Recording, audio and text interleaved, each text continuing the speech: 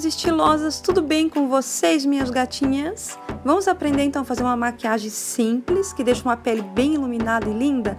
Então, agora eu estou utilizando ali a base que eu amo da Vult, é uma base fluida, tá? E a cor é a cor número 2. Eu estou utilizando o corretivo que eu gosto muito também da Tracta com efeito mate. Esse é o tom branquíssimo. Porque para mim tem que ser assim, sabe? Tem que ser nessa cor branca, senão não adianta para mim. Você vai espalhar bem. Você viu que eu passei ali em volta ali embaixo das olheiras, em cima aqui dos olhos e também aqui no ossinho aqui do nariz, tá bom? Para dar já um efeito já de iluminado já já com corretivo. Agora eu estou utilizando um pó que eu gosto muito, pó compacto, translúcido, é um translúcido da Avon, a Luxe. Por cima de tudo, eu vou estar utilizando também da SP Colors HD um pó translúcido, na realidade ele é bem, bem branquinho, tá? Que eu gosto também para dar aquele tchan, aquela finalizada assim na pele.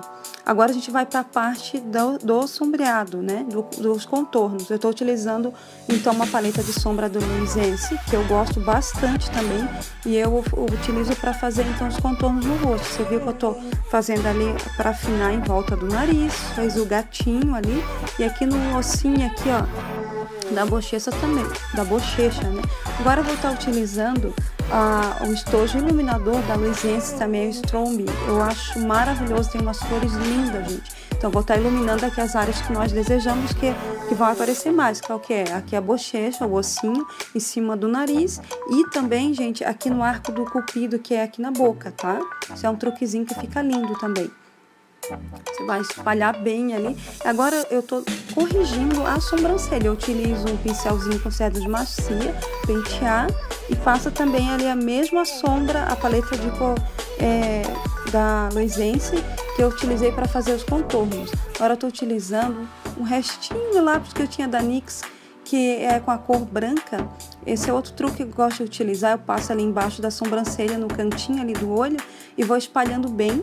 E por último, daí eu passo novamente o pó iluminador da Luizense. Isso deixa um efeito lindo, gente. Ele ilumina bem ali, fica muito bonito o resultado final. Agora vamos utilizar aquela paleta. Lembra que eu tinha mostrado para vocês lá nos stories do Instagram? Pois é, gente, quem não me segue, segue lá. Eu vou deixar aqui embaixo para vocês, tá? Então, eu vou estar utilizando a cor ali, ó. Essa ali é Sweet da paleta City Girls Tropical Paradise. Eu vou deixar tudo escrito aqui embaixo para vocês, tá?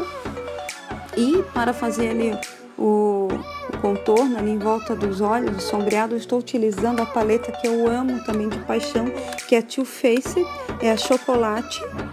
E ali a cor que eu costumo utilizar bastante é a Preline é Pecan Preline. Eu vou deixar o nome direitinho aqui embaixo para vocês, porque eu não sei se eu estou falando correto, tá, gente? Me perdoem se eu estiver falando errado me corrijam. Então, agora eu utilizei ali cílios postiços da, da Kiss New York, que eu amo muito, e o blush da Zanfix também. Gente, ele é maravilhoso. Esse, esse pó iluminador eu ganhei do meu marido, é da L'Occitane, é muito lindo, gente, deixa um efeito maravilhoso na pele.